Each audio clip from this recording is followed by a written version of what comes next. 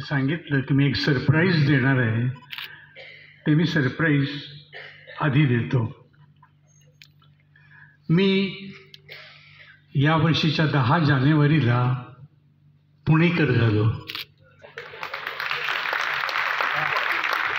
मी पण पुणेकर झालेलो आहे.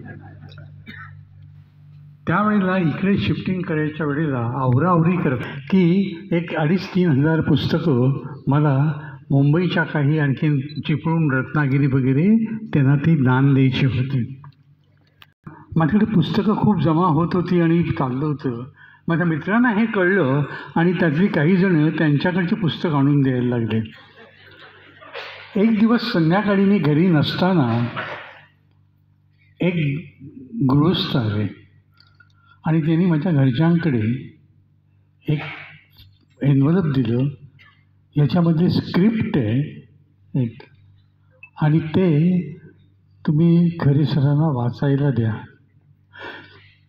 नाटकातल्या अनुभवामुळे आठवड्याला एक दोन स्क्रिप्ट्स येतात वाचण्याकरता आणखीन मत देण्या मत देण्याकरता.